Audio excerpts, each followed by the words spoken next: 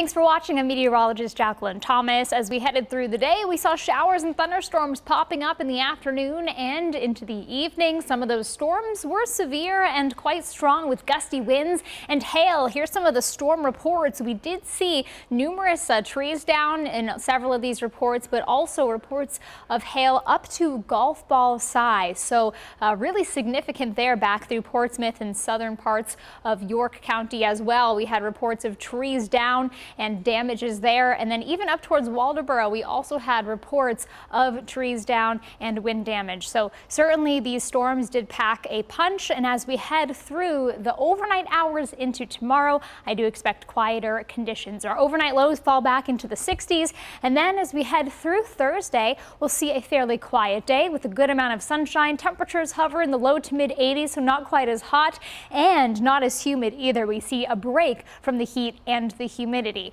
The storm tracker as we head through the rest of tonight, any showers continue to wind down. And then as we get into Thursday, some sunshine, a few more clouds around in the afternoon. Then on Friday, widespread sunshine and with the lower humidity, I think Friday will be the pick of the week with comfortable conditions and temperatures only near 80 degrees. So the eight day forecast looks pretty good for the next few days. Improvements as we head through Thursday and that humidity fades by Friday. Pleasant conditions with dew points back in the 50s. 50s, a little bit muggier as we get into the weekend.